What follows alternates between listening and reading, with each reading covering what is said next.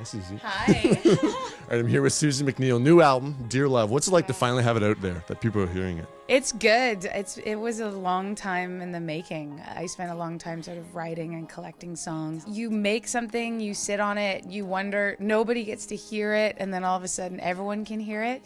It's pretty nerve wracking, but I've I've had some great responses to it. Actually. Kind of better than I thought. People are liking it. and I'm glad. Well, yeah, it's a really personal album, so, and it's all about love. Dear Love is the name of the album. So we wanted to do a little bit of uh, rapid fire about Susan McNeil's love life. You ready? I'm scared. Okay, let's start with when was your first kiss? Uh, I guess that would have been grade eight, and it was by a, like I was walking home with this Italian boy, and I I say that because he had really big Italian lips, and we were by the train tracks, and we were like we both knew that we had to do it, and we were like, uh, and neither of us knew how, and it was really slobbery. Wow, that sounds really romantic. Yeah, it was. I, if he's watching this, he'll remember. And what's the best gift you've ever gotten, and the most romantic gift you've ever gotten? I would have to say my the my engagement ring that I got from the guy that I got that I was engaged to. That was pretty pretty stellar. He gave it to me um, while I was sleeping. He put it on my finger, and then I woke up and I had it on my finger in the morning. It was pretty cool. It's like a romantic movie right there, a romantic Uh, movie. he was he still is great. And what's your favorite romantic movie? Um, Terms of Endearment is my favorite.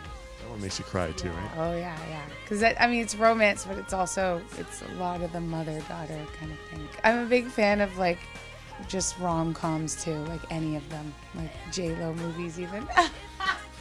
I think I need to stop this interview. they relax me because they're so simple. A Wedding Planner. totally. Maid in, did you see Maid in Maid Manhattan? in Manhattan? I love that. Don't get me started on Maid in Manhattan. I remember the ending of that movie where Ralph Fiennes is the paperclip and he and he bonds with the kid because they're both holding a paperclip. Right, yeah. Do you remember this? Lame. I didn't pay attention. I was just looking at J Lo's hot face. Yes. Okay. Yeah. As long as it's just JLo, yeah, it's fine. Worst pickup line you've ever heard. You know, I have my like people I hang out with are more intelligent than that. I'd have to Well, say. that's good. Because I've never really had that uh, pickup line happen to me. I mean, there's the cliche ones like heaven reached up and blah blah blah. But You must be tired. You've been running through my mind all day. uh, yeah, all that. I would be if if anyone ever said any of that to me for reals, I'd be. I wouldn't even hear the end of the end of it, the punchline. Do you remember the name of your first crush? Yes, my first crush was Val Kilmer. Batman? No, he was in Willow. Oh, Willow. Yeah, Willow. Yeah, and then after that, The long hair. Had really flowing long hair.